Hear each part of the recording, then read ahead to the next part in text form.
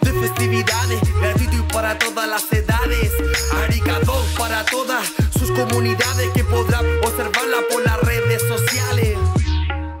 Desde el 18 al 30 de enero del 2021 por arica2.cl.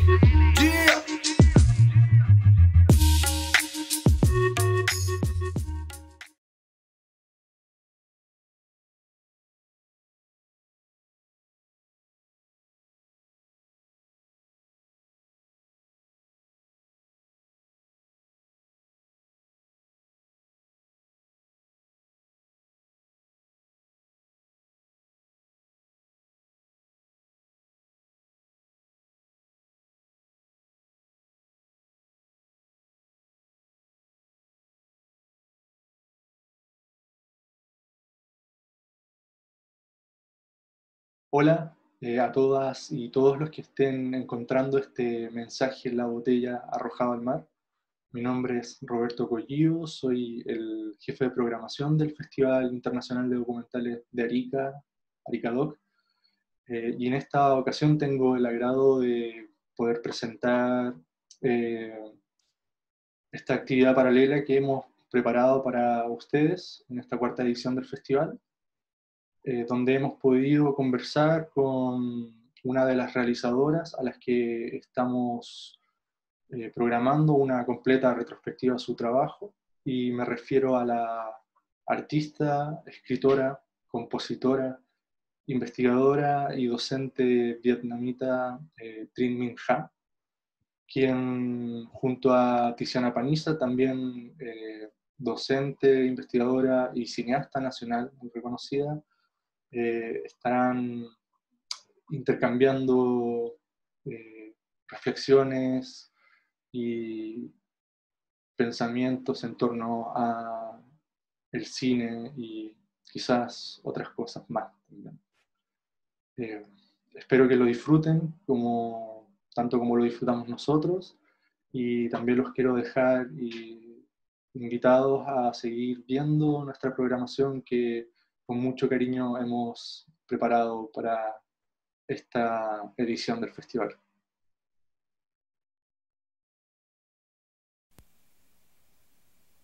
I do not intend to speak about, just speak nearby.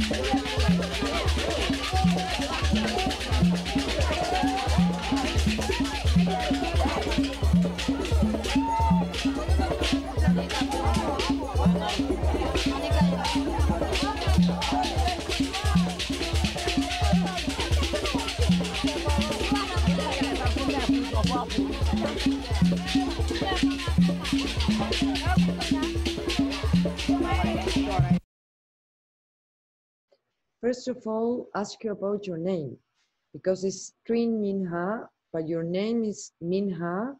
How does people, how, how does your friends call you?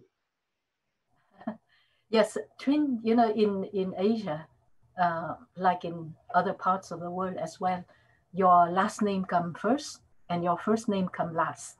You know, and this is something people have problem with here, you know, in the US, because they can't turn it around. And so many of the Vietnamese who came, for example, to the US, they shift the order of their name, but I just kept it the same because you know, it's also a name is a political act, you know, so.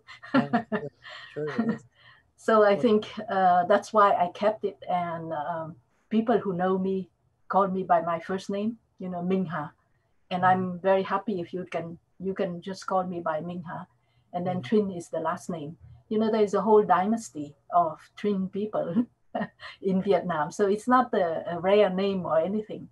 Uh, so the, the first name is is what you what you would call me by. Yeah. And first of all, um, thank you for all your inspiring films.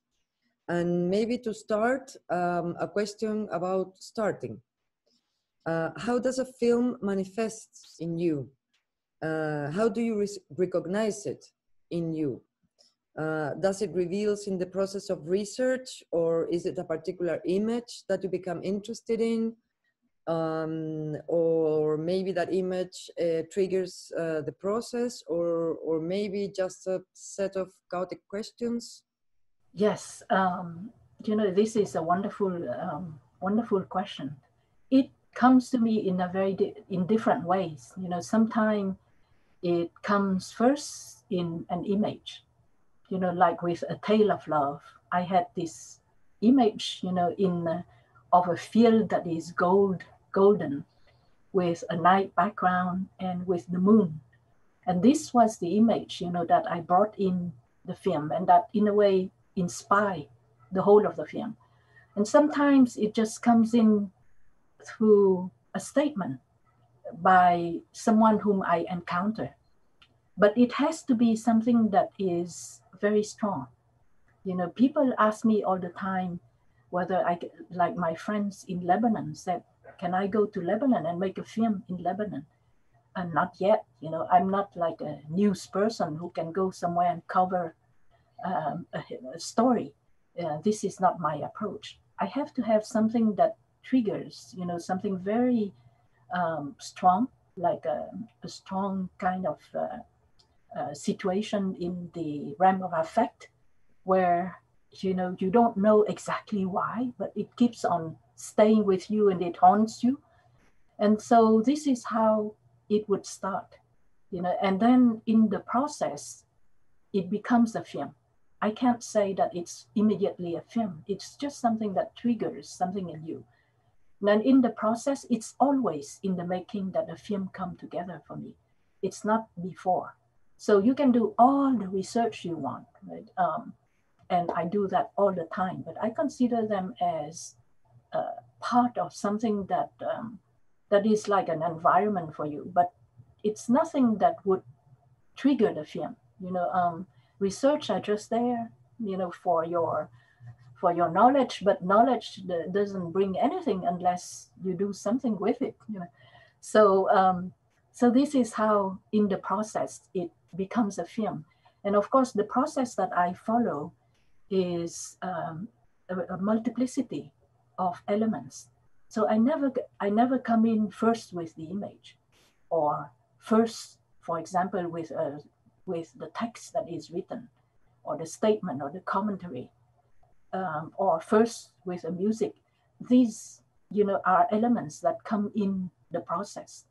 So you have raw footage, you have a lot of music that are made with you know, with that raw footage in mind, but that is not in any way submitted to this uh, footage. So it's not there to illustrate anything. It's just music. And then you have texts, you know, that are that came up very situated, you know, in the situation of that film, because I write before uh, and then during the process of shooting, during the process of editing. So there are several stages you know of the, the writing that come together and with when you come to the editing table all of this come together in a way that is unexpected to yourself you know so if it is unexpected to myself it is also unexpected to the viewer. I understand these materials that you describe as many things images sounds uh, related to the place uh, where where you are filming. Uh, but of course it's you uh, collecting them and looking uh, to place them in the editing. What is the relation between materials in film practice and subjectivity? For me, when I start on something, you know, I don't know before I start a film, but once I start on something, that thing grows all the time with the film. So the dimension of whatever you start with takes on other dimension, other reflexive, you know, dimension, and one speak the other, and so on. So it becomes like a multiplicity, but that multiplicity is not entirely chaotic. You know, mm-hmm. actually, it's very rigorous, and I think that's the difference with a situation where I think at first people who were who look at my, um, you know, my earlier film, they were so puzzled by it that they they say, but then uh, if you go to San Francisco, you can make a, exactly the same film, right? Because there is no order, there is nothing. And I told them, yes, I can make a film in San Francisco, but it would be totally different. Yep. You know, because it's San Francisco. It's you start with something in San Francisco, and it would grow. It would take on dimension that are, you know, that are very related to uh, to one another without you being the center of it. And I think that's the the big difference between what people call essayistic films of other filmmakers and the kind of film that I make because I'm not at the center of everything. I'm like an empty center, you know, where things gathered around me and they speak to one another and so on. But it's not a kind of centered subjectivity, you know, um, an individualist subjectivity like people usually think of when they think of subjective films. Here, you know, the films are really uh, the materials that comes to you when you are shooting. And most of the time, these are not dramatic, um, you know, dramatic actions or dramatic situations. They are ordinary life. But how do you receive ordinary life? That makes all the difference, right? Yeah.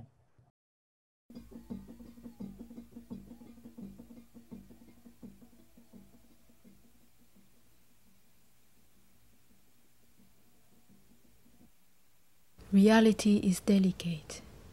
My irreality and imagination are otherwise dull.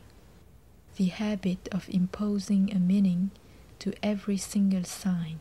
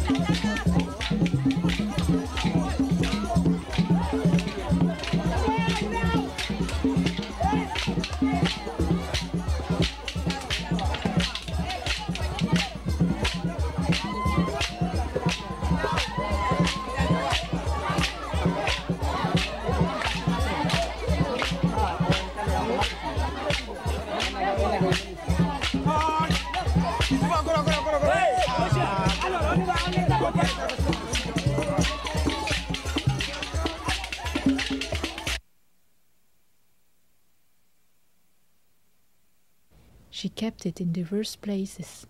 At the end of the stick she used to dig the ground with, for example,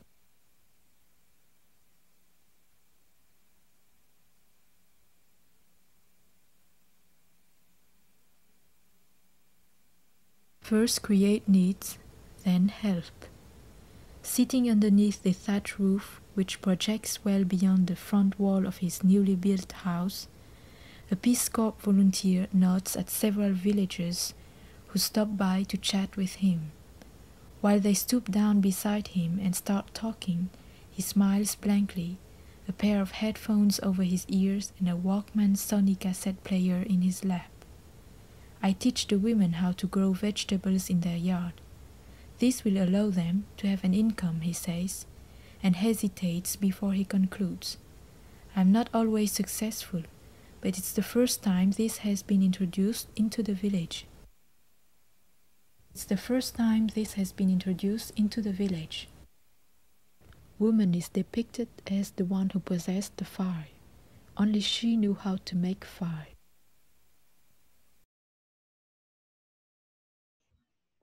in almost all your films, and especially in Reassemblage, Naked Spaces, and others, uh, one can feel like a strong presence of you filming in that territory, like a special energy, even though you're not in camera.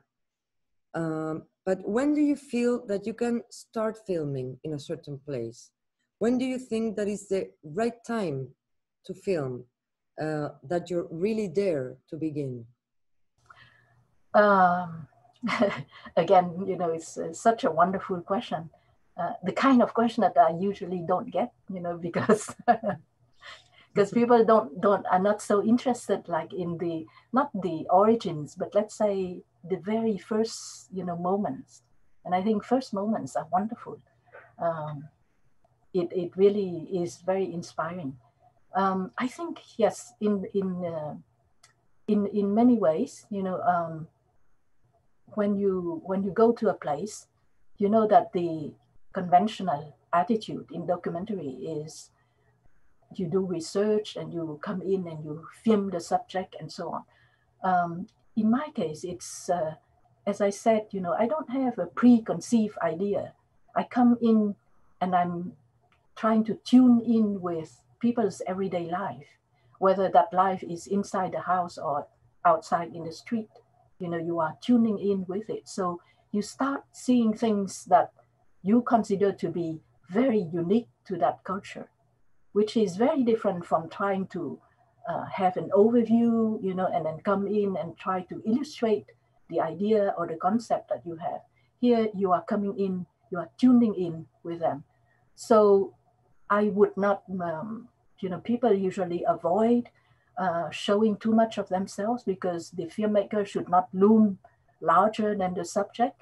Um, this is something that anthropologists are fearful of, you know, but um, without having to loom larger than your subject. And in my case, as I explained earlier, since you don't have like a center that you pull everything in, you are actually uh, tuning in with everything around you. Um, since you are in that kind of position, most of the time you come in quite empty-handed. You know, you don't bring in something uh, that needs to be illustrated or that you are fearful that you are not going to be able to bring out. Whatever happened, you know, um, if it strikes you, it becomes something very charged. And so I would just tune in with the space around me, you know, like I would be in women's space for a while. We can talk, we can do everything. And when I feel that they are quite at ease with me in that, you know, in that space, then I start filming. But that doesn't mean that they are not looking at the camera or that they are not conscious of the camera. On the contrary, I think that um, one has to be conscious that there is this element, you know, this camera is that is there, and then this presence of the person filming that is there.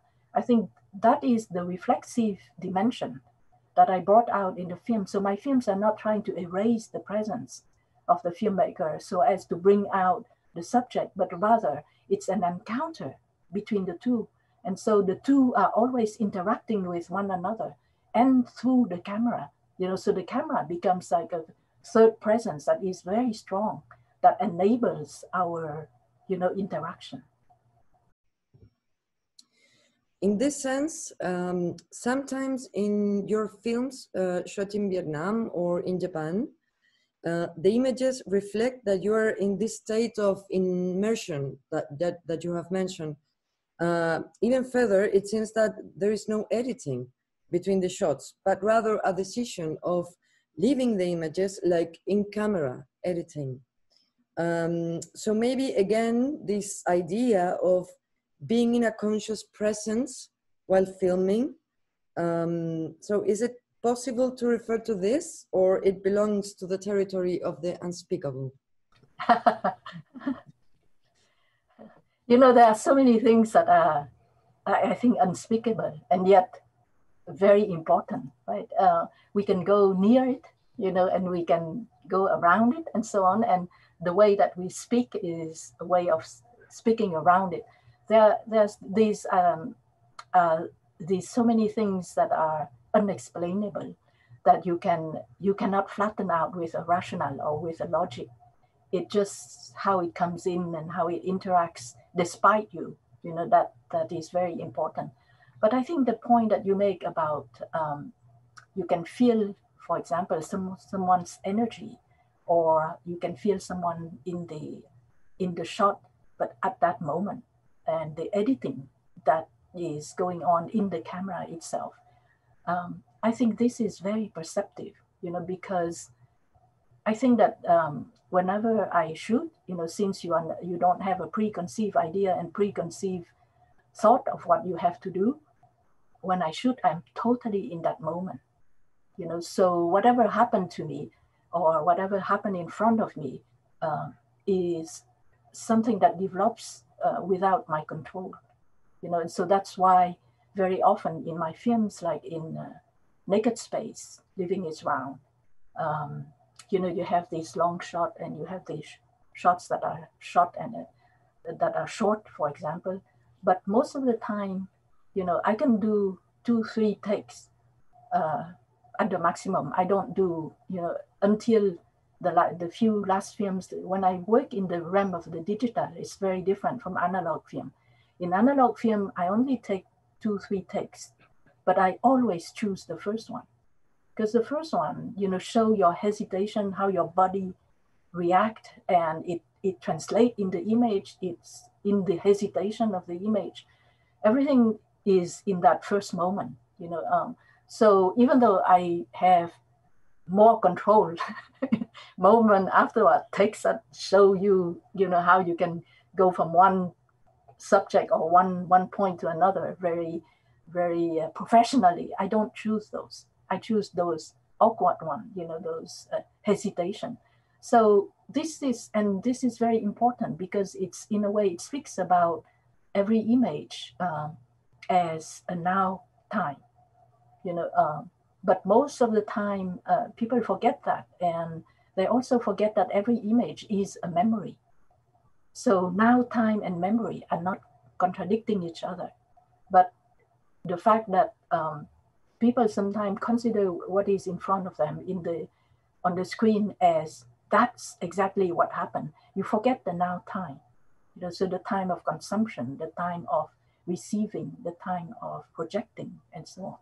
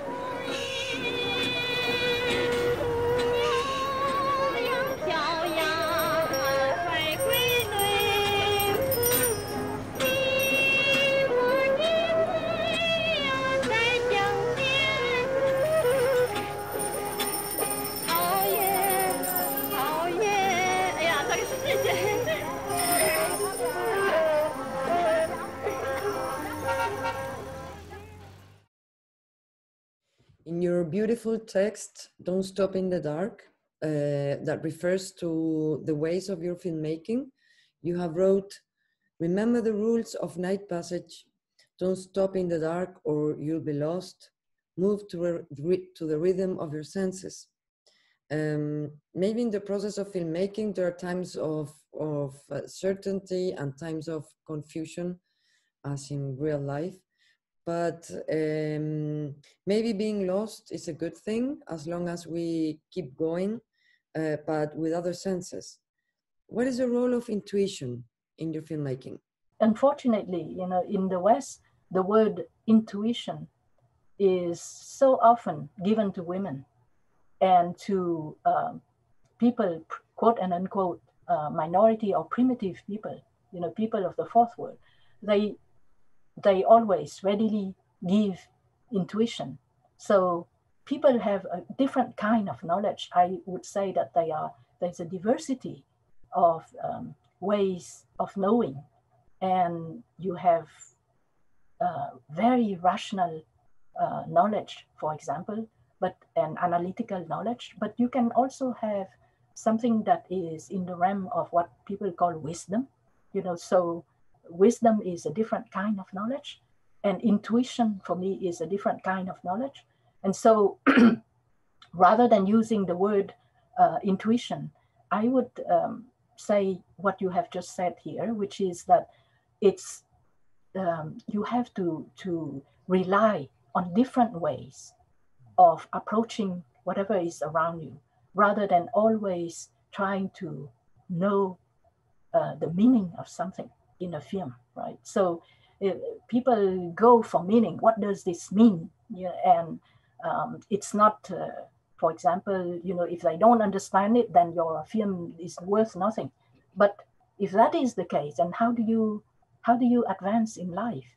You know, when you don't have the lights on, for example, and here in California right now, you know, with all the fire alarms and they cut down our electricity, you know, this is something that you have to learn even in a very urban context, right? You don't you don't wait until you are in that kind of situation so but that's that's still very materially speaking you know this realm of the invisible is huge large and the realm of the unspeakable as you said you know mm. these are all these realms that coexist with the kind of reality that we know but those there are some of us who are um, who pay attention to that realm and hence could uh, put out a lot of antennas, you know, enriching that realm. And then you have other people who are just only staying with the visible and the material and reject everything else, you know, that does not fit in there.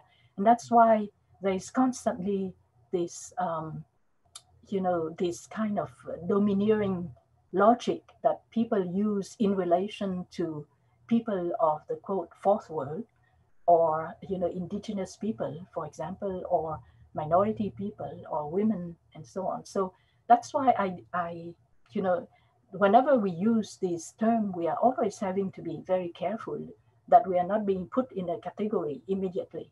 So we have to talk if we talk about knowledge then we talk about different kinds of knowledge and different kind of approach. And the way that we have been impoverished because we don't know different kind of approach and we are sticking only to one thinking that this is the only way you know to proceed. A journey in these villages may have a cathartic effect.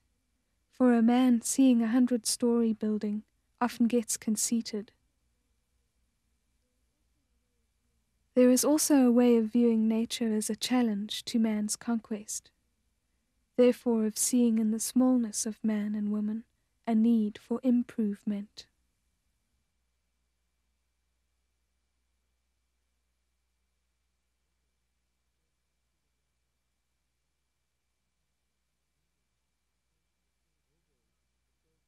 Ogo, the first who stood against God Amma, and introduced psychological diversification in the universe, was transformed into a fox and thus reduced to speaking only with its paws on the divination tables.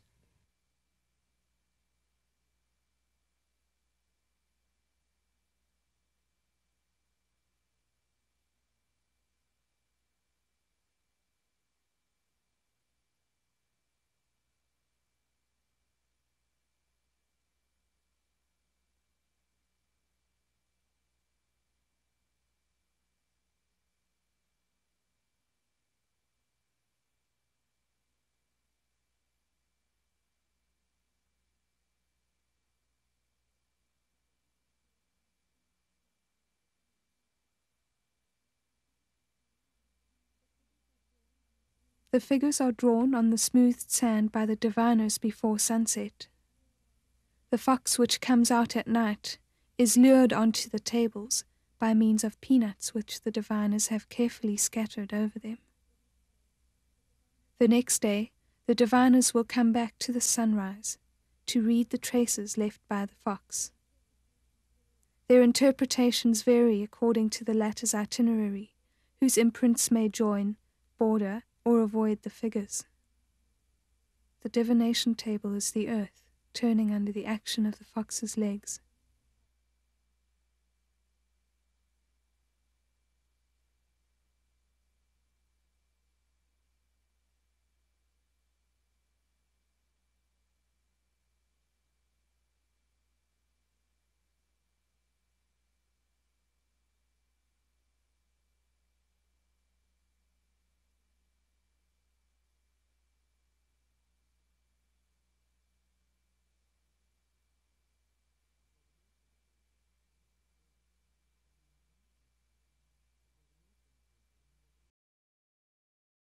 In this territory, the Mapuche people call Newen to the vital energy, and is uh, the word also for the fire of the heart. And also the Aymara and the Quechua people call it Chama. And I refer to this because you use the word sap uh, in a very similar way. Um, you, you have said to use an image is not only the shape of the flowers or the fruits or a plant, but what matters is the sap that runs through it. Uh, different words to name a kind of um, similar energy that is invisible. Uh, is it possible to film this? Or how do you recognize this while filming? Yeah, I, I really appreciate your giving me, you know, other names and other, you know, how, how other people from different part of the world, you know, also uh, approach that concept, right? Um, I think it's it's uh, the West always think in terms of uh, in relation to aesthetics, in terms of composition, in terms of uh, um, you know accordance and discordance and um, harmonizing things and so on. But um, the most important part, you know, these are like the shape of the flowers, but the most important part, and that's the part that I also point to when I said you cannot teach this is precisely this energy, you know, that you are mentioning. And I, I love the fact that you keep on coming back on this notion of energy because for many people, energy is not very material, so they don't. They always want to know how can you feel the energy, but you do feel it. People feel it very strongly, and actually, you know, you can feel the vibes of someone. Um, you know, you you can go next to someone and you can feel the vibes of that person or people who approach me they are very far away and i can feel the vibes and i feel that they are going to come close to me and and so on right? So you can feel this very strongly and it's the same thing with a work. Um, you don't simply read for example any of the theories that we love you know like uh, the, the trendy theories like derrida or foucault or um, uh, you know, um, Deleuze, for example, you don't read them for what they say. I think you read them for what they say, which is what we all do, but I read them mainly to find out their spirit, how they approach the material. You know, so that spirit is not something that is visible, and yet it trans, it trans, um, how do you say, it comes out you know, in the in the writing, in the thought that they offer, in the way that they put things together, in the way that they associate the different fields that they work with. You can you can feel that very strongly. So when you understand the spirit of, of someone, the result is there and it's marvelous. But the more important aspect is that spirit. So I think it's it's the same with a work. The Chinese and East Asian uh, people talk about the ki or the chi, you know, which is like the breath of a word. How do you receive the breath of the word? One of the way to receive that breath, you know, is uh, through rhythm. For me, uh, cinema is very much about rhythm. And, um, you can come in a film and you immediately feel that the film has no rhythm. You know, it's not aware of its own walk. In other words, you know, the way it walk, it's not aware of it. You can feel that there's no rhythm in it. And then you come in other films, you know, and the rhythm is so strong. You can feel it right away. And for me, this is part of the chi, the, the, the breath, the breathing of the work. And also, you know, if you, let's say if you edit and I, right now, since I'm, um, you know, in a strange way, I'm on the uh, jury members of the Oscar, I'm seeing all these films, you know, that, um, that uh, begins with something very fast, very trendy. Okay, but, um, you know, it's uh, maybe the person didn't want to to come in with something that is slow, that would put other people to sleep. So I would understand that. But when it goes on for more than 20 minutes, and then it's a film that totally lacks any sense of rhythm. You know, you just jam in things one after the other. And they jam in things according, especially in documentary, according to either the message or the, the story that I want to cover. So this is for me a very um, you know it's like uh, only focusing on the on the shape of the flower and not even smell the flower or feeling the energy of that flower that comes out in other parts of the world that use flowers to to um, to receive the energy you know of the flower so i think this notion of energy the notion of breathing the notion of the spirit of a work is something that is very important. It's something that you you um, become you are not naturally sensitive to it, but you become more and more sensitive to it because you are making film yourself or because you are doing something else yourself and you recognize that.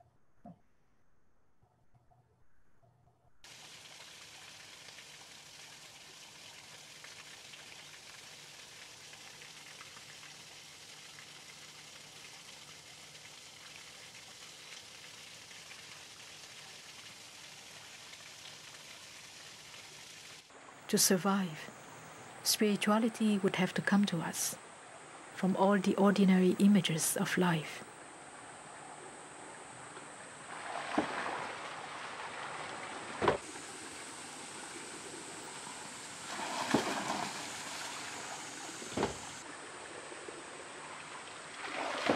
It is said that when Shakyamuni lost his ordinary sight, one branch of a plum tree blossomed in the snow.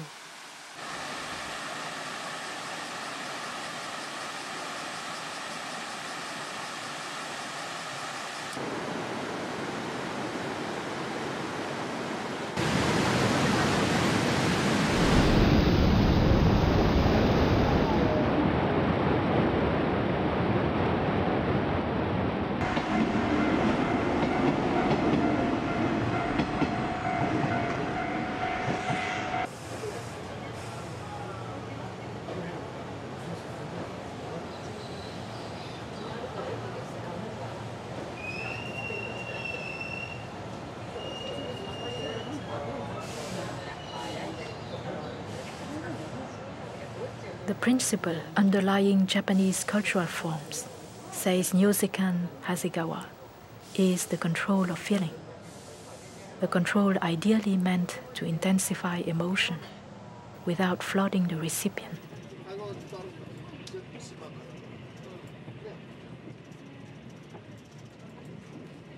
Bridge, train, passenger. What's in motion?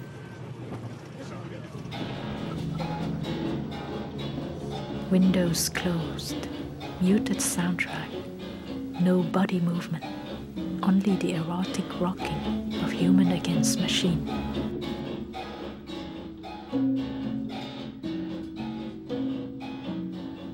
Landscape, image, wagon, viewer. What's moving in the midst of stillness? Traveling anew with video images put online, displayed on screen. From one spectacle to the next, mobility of human sets, possession of window images, the landscape wired now glimpsed, now no longer seen, morphing, changing from one minute to the next. In your films, there are different ways of filming the everyday life. The, there are simple images, but very beautiful. Um, also very different depending on the country and its people. Uh, how do you approach everyday life in your films, in, in your filmmaking? The everyday for me is, um, we tend to think of it as something that is routine, you know, that uh, every day you wake, wake up and you do this and you do that. Uh, but, you know, if you remember a film like, um, uh, what is it? What is the title of Chantal Akerman's film that uh, about the the, the four days that the woman um, she just follow but many of her film are that way and know, follow, follow day one day two day three day four and then um, you see her every day going through the same routine and then suddenly um, she start doing something that is different right? because we see the routine when she does something different we notice right away you know so it, the notion of duration in cinema, the notion of something that is routine becomes something that is very charged, very special. And this is how I see the everyday, that the everyday is something that you cannot control. You go out in the street and something happened and it already changed, you know, your everyday. So the everyday is something that you cannot hold, you cannot control, that you cannot simply repeat mindlessly but something that has the appearance of repetition, but that is not, you know, um, mechanical uh, repetition, in other words. And so this everyday is something that the everyday can become, you know, as soon as you put a, um, a frame on it, it can become so charged.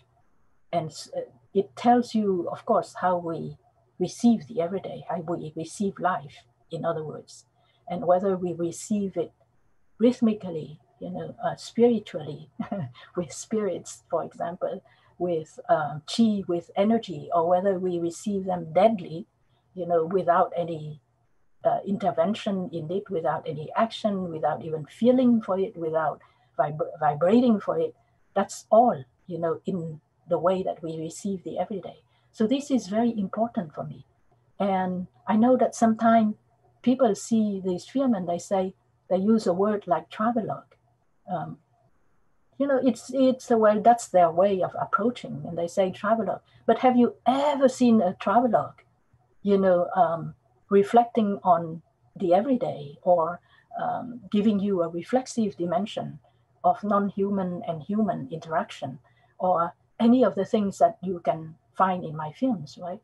So these, why would I call it a, a travelogue? It's just mere habit, you know, um, and also you know, sometimes because people couldn't find the right word, you know, for the, the type of film, they would come up with something like travelogue. But for me, it has nothing to do with the travelogue. You know, um, you can you can travel all around the, the, the, the country or you can stay in one place and focus on the everyday, for example. And uh, there is nothing of the travelogue that is in there, except the notion that, you know, uh, we are in a way, um, at the same time, dwellers and travelers. You know, that there's no such opposition as the, the mobility of the traveler and the um, immobility, you know, of the, of the dweller. That's how people often come to other country, uh, other cultures. They think that the, that culture is immobile. They are the one who come in and who are mobile. But actually, you know, they are, uh, they come uh, to this culture and these culture are changing within itself you know so there's a mobility within and there's a mobility across they, there are many kind of mobility and there are many kinds of immobility you know again we come back to this notion of mountain and water you know solidity and and fluidity. So these are you know the the aspect the richness the wealth you know of the everyday that i brought in my work.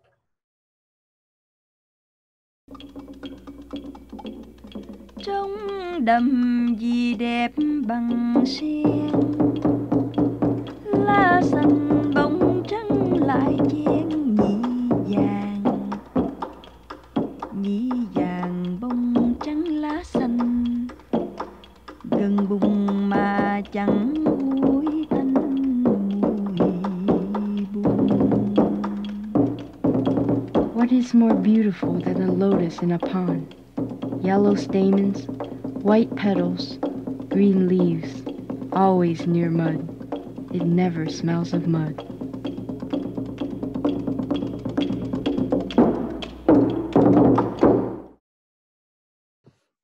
In many of your films, there are dances and music, very powerful images, hypnotic images, but they also bring a reflection on the notion of freedom and the collective. In our capitalist societies, we have been told that, the, that individualism is supposed to be the maximum expression of freedom, but instead, in your films, you say that the endless demand of freedom is actually related, related to the collective. Mhm. I guess um, uh, you are referring, or, or at least one of the film that that would uh, we can take as example, you know, to discuss this point is the fourth dimension, uh, the film that I shot in in Japan, and that's where I showed some of the funny scene where, you know, everybody talk about Japanese culture as being the culture where uh, in tourism, for example, you see a bus of Japanese, uh, you know, landing and then they come out all together. They click the camera together. They do a lot of things together as a collective.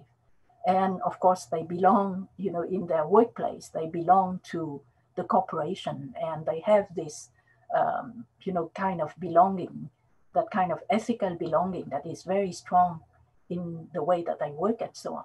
So because the film is shot in Japan, I was thinking about all these uh, aspects, especially when I go to a place and I have uh, 30 other cameras around me shooting at the same time, right?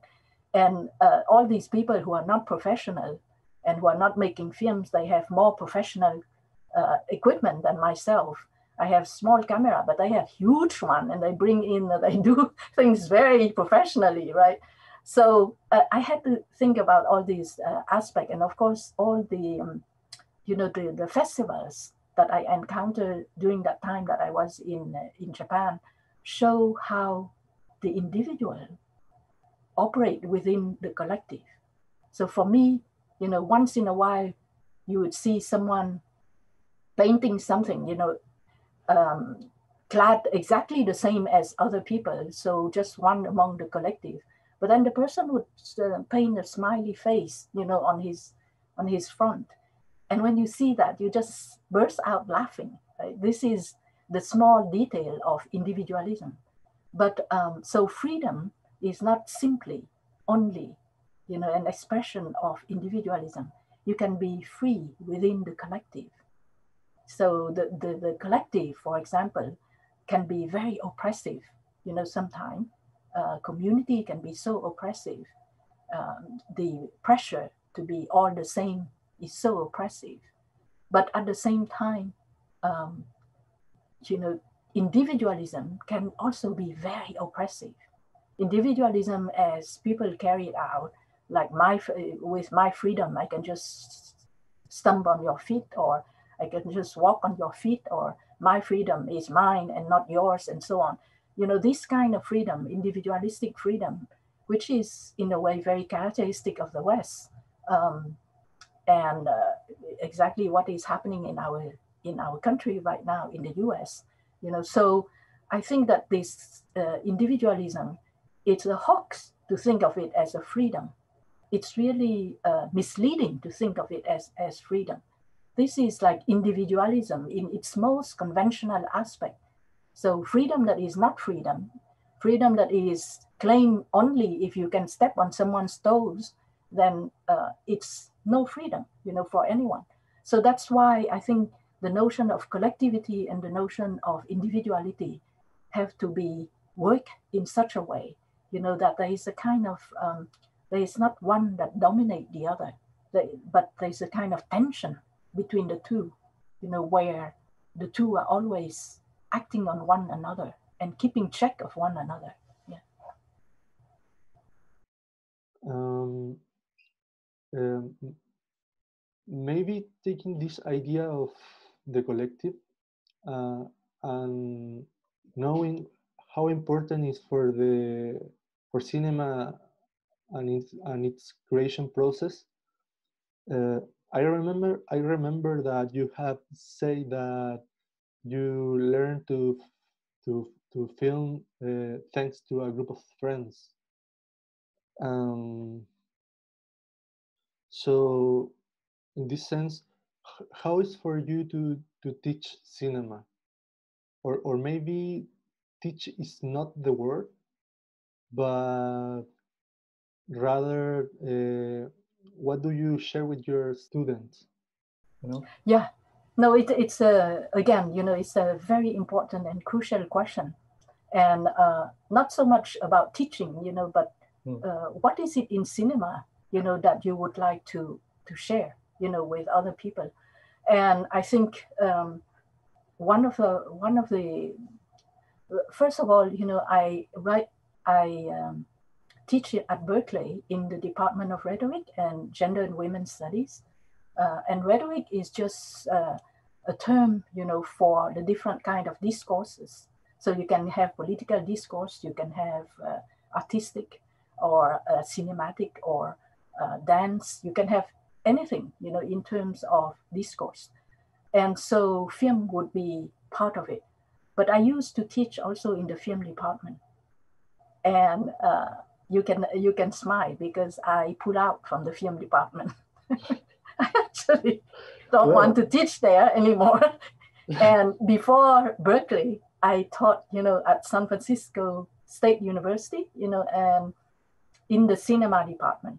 Uh, so I was uh, three quarter time in cinema department and one quarter time in the art department. You know, so I have always been in more than one department, and they are all different.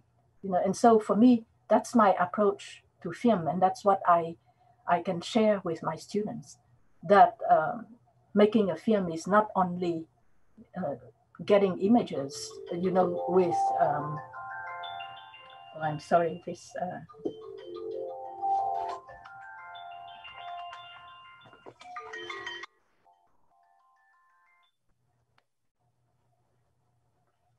yes. um, so um, this is what I wanted to share with my with my students. You know, the, the multiplicity of film. So it's not a, just a question of using a camera to obtain an image, and then after that put together this this image and so on. Um, there's no one among us who can cover everything that film film reality can offer. You know, so for example, uh, you and I are doing some music. We are also doing uh, cinematography and, and photography, and I'm a writer and I also write poetry and so on. So I pull together all of these aspects, and each one of us, you know, in a way, offer has something different to offer and to contribute to cinema. And this is what um, is most important, not a mere uh, simple approach, not a one approach, institutionalized approach to film, but rather this multiplicity of possibilities and richness. And of course, um, you know, when I, it's not the easy to teach that way. And of, I have had students who really agonize with me the whole semester. but uh, by the end of the semester, it's like they realize what I was doing. And the year after, when they don't have me anymore, they go on to another teacher. They are all coming back to me and said, Minh Ha, what are you going to do if you are, if you have to, let's say, write a script before you make a film and so on? They always come back to you afterwards because uh, what you are interested in is not to make them follow certain rules of cinema. These you can always learn. And now with the, uh, you know, with all the information online, you really can learn all of that online. But the part that you cannot learn and that is not online is precisely how to bring out the, the, the force, the strength of each of the people who come to film, their own wealth, you know, what they have to offer. And most of the time they haven't asked that question. So as a teacher, you are simply facilitating, asking questions or pushing them in certain dire- direction so that they can, um, you know, discover, in other words, their own talents. Interview An antiquated device of documentary. Truth is selected, renewed, displaced, and speech is always tactical. So, how many interviews in the overall? Whom do you choose? In one case, 150 interviews were made for the film. Five were retained in the final version. What criteria?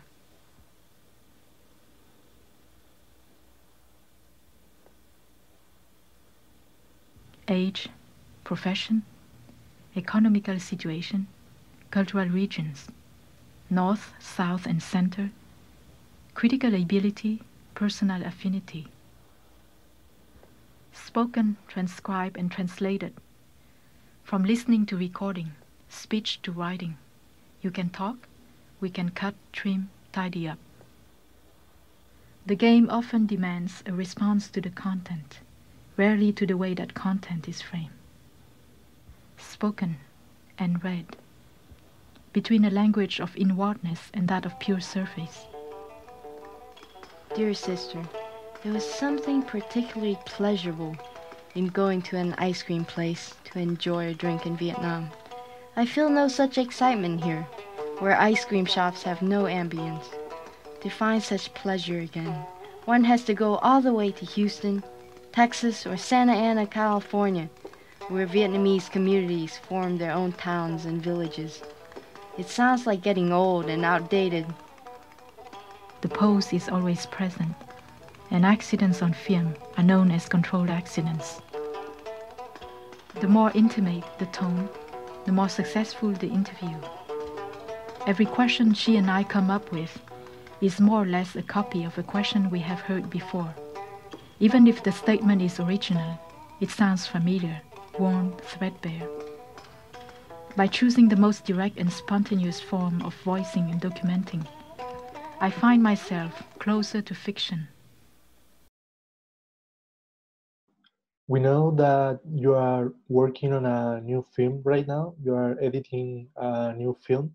Uh, so uh, I wanted to ask you if you can share with us uh, something about the process of this new work, um, how it has been for you uh, in this new context, in this uh, pandemic context. Um, what can you share with us? You know, I must say that um, I have six projects, film projects, and I was too busy with uh, work at the university and everything else, you know, writing and traveling. So I haven't been able to really sit down to ask for funding, you know, for this film, even though people told me you can apply here and there and so on. But also because um, of the kind of film that I do, it's difficult to find funding in any case. So I have all these projects that are pending. And it was thanks to, you know, one of the curator who knew my work, Ute uh, Meta Bauer. She actually wanted it. Uh, she's organizing a retrospective in Singapore, and she really wants it for the exhibition. And I said, there's no way that I can finish a whole film, you know, for that deadline. But she said, oh, just 20 minutes. And at first I was very resistant because I, that's not the way I work, you know, just doing like some kind of trailer or, or a pilot film. That's not the way I work. When I work, it's the whole thing that comes in. But then, you know, I understand that you have to be flexible, you know, with funding situation. Uh, the funders want to see something of film and so on. So I started and I made you know, so far I've made something like 56 minutes of the film that she's exhibiting in Singapore, and I call it part one of um, a film that is tentatively uh, titled "What About China." You know, so um, of course, the first reality, you know, that I have to face in doing this is that it's a film that I shot in 93, 94. And um, already, you know, for people, oh, it's not current, you know, um, yes, but as I said, every image that you see in film is an image of memory. So, you know, what is it? You know, the, of course, there are changes that happen, but it's like the form of the flowers, right? The, are, the forms of the flowers change all the time. But that energy, that now time, that um, spirit, you know, of the work is, and spirit of a people, of a country, is something, you know, that is much more, um, how, how should I say, enduring, you know, than some of these little changes around, right? So this is my approach, you know, to, to that film, 93, 94. And of course, I shot it at the time, you know, in nothing like HD or 4K today.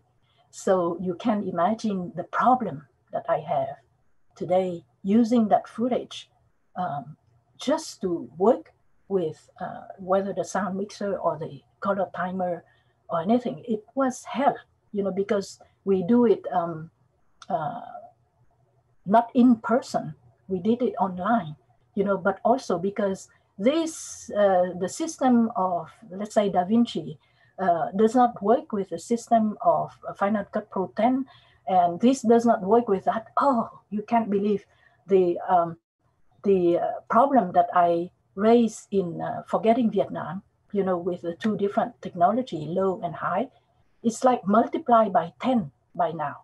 You know, of course, the gap is bigger, 93 and then now with the technology now, but it tells us so much about the our society and the way that we deal with technology, with new technology. We think, uh, you know, everything is done so that everything that comes out in a later phase would exclude or would um, make the, the older one not compatible. So incompatibility is like the main term around new technology for me. it's like you can't have the old and the new. It's uh, totally out of question. And when when you try to work with uh, people, people just laugh at you. They said, "What do you expect? You know, if you bring in this old technology, of course we can't do it. But of course we can do it because you know, uh, with persistence, I did succeed to do my 50 so far, you know, the 56 minute and so on. So that's another aspect that comes in with the film, you know, and the third aspect is uh, the pandemic, you know, of course, that, that I already raised, how you work in isolation and you work in utter isolation. It becomes a one, you know, um, every technical aspect that I when you do a feature length film, it's a collective work, as you said. And we ask a number of people, and here, you know, I have to work with musicians uh, totally not in person, but uh, long distance. And then um, scene that I want to shoot in calligraphy, I couldn't do it so far, you know, so I have to come up with other ways to do it. And of course, the different kind of music, the different kind of voices. You know, the voice, you cannot really uh, direct the voice. You can do it approximately. But so how to, to deal with all these problems is something that, uh, you know, that leads me also in this film to what you will be seeing when, when it's going to be finished.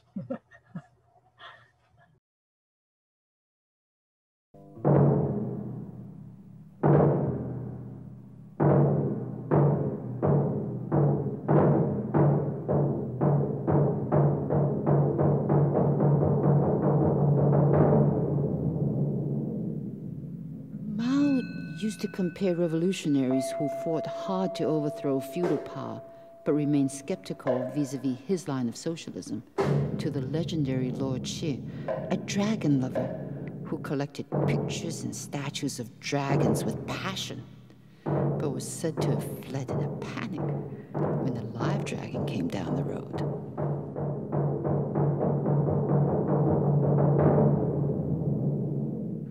A peasant said it all Politics is just beating air with air. Confucius also knew what he did when he said, I saw a dragon today. It condenses into an entity and disperses into nothing. It rides on clouds, appears and disappears.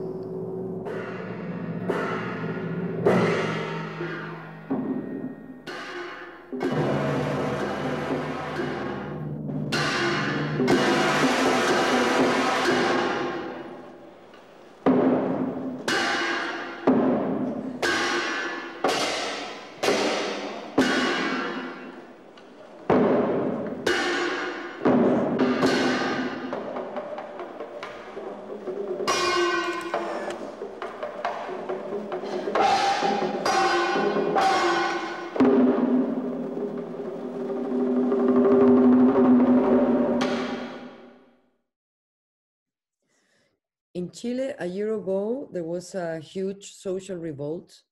And for months, many people took the streets uh, for social demands.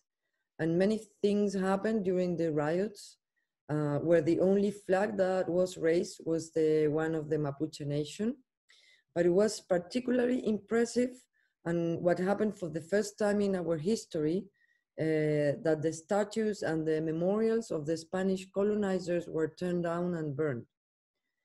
What do you think is the place of cinema uh, in its political approach in denying an image, uh, but bringing up new ones in terms of colonialism and film? Yeah, no, I know that it's um, it's a very debatable, right, controversial subject in relation to all the statues. And here in Berkeley, you know, some of the um, uh, the students have uh, demanded, you know, that the uh, administration changes the name of some of the of the buildings, and um, it has been many years, and now finally, you know, they changed the name because of these names were uh, related with uh, colonial enterprise and so on. So I think changing image that's the first step. and the other the other very nice point that you raise is um, how the flags and so on are not so much divided into parties, but other ways, you know, for example, of dealing. We can talk about notion of alliances and alliances not between people who share the same, exactly the same ideology, but alliances in difference. You know, so, um, and I mentioned here the example of women, uh, the Women's March and also what happened, for example, with uh, the situation in Japan when there was this huge um, uh, wave, you know, tide wave that came in, and with the with the question of uh, nuclear, the nuclear uh, station, and so on. Well, um, for the first time, the uh, leading, you know, leading um, protesters are grassroots women, but it's a wide alliances that come together in terms of climate change, in terms of uh, uh, social, you know, uh, protests and social resistance and so on. There are many, many factions that come together with the, the question of alliances. So something that we can bring to, we can act on, both on a very collective and very individual, you know, um, individual, uh, how do you say, individual uh, uh, scale. Because look at Tibet, you know, and how they um, they change every act or the act of every day to a political act. Like they decide at 8 p.m. on the day of the Olympics, at 8 p.m., everybody turn off the light for an hour, you know, or they decide, for example, to go um, to use, you know, this um, spiritual walking around, you know, uh, circum, circumambulating around, they use it as a political uh, venues. You know, the, the more they do it, of course, in appearance, it's exactly the same. You are just walking around. But the fact that so many people come together and doing that together. And then every Wednesday, all around the world, uh, Tibetan are um, consuming only Tibetan products you know, whether it is vegetables or um, or anything else, you know, you buy Tibetan and you speak Tibetan. So for me, these are the forms, you know, and of course, changing the image is a step forward. I think it's it's uh, it's the beginning of something different rather than simply constantly um, using this left and right, left and right, you know, partisanship. You are bringing in other ways, you know, of dealing with politics.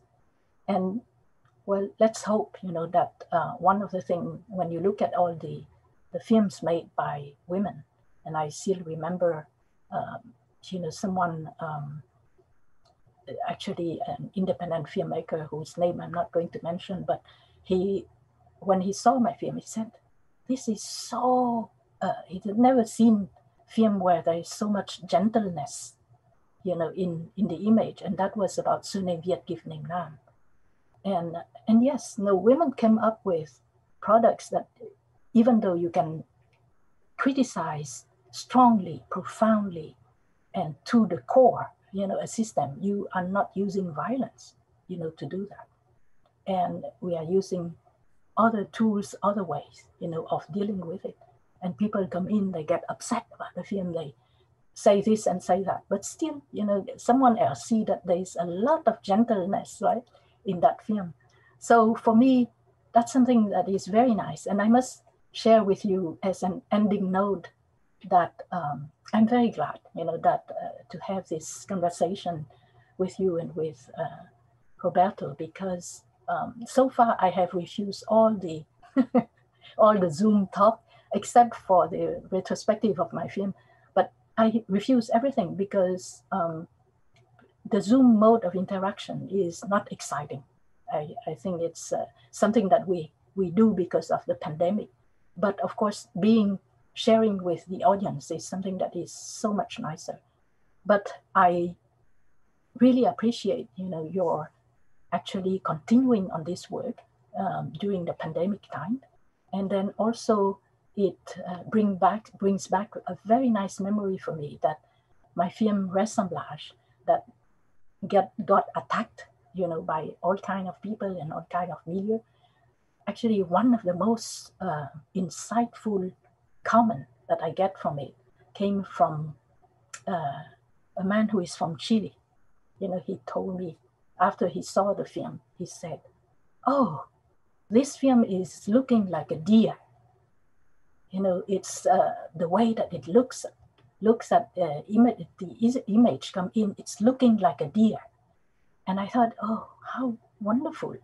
You know, this is the like um, a gift so big. You know, you don't have to look in front of you or this way or that way. You can look like a deer, you know, because deer have eyes on the side, you know, and they can look differently, you know, for example.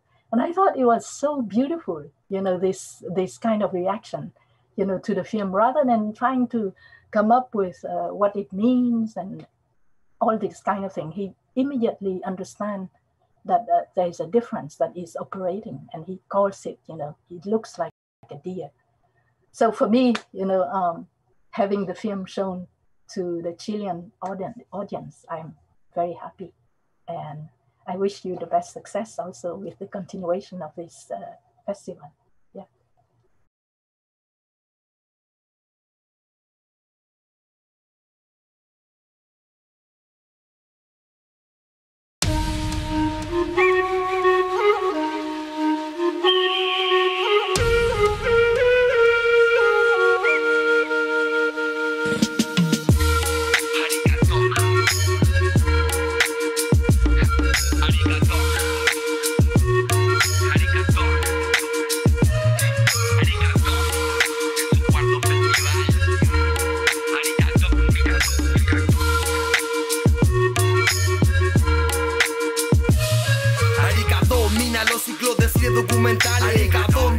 Festival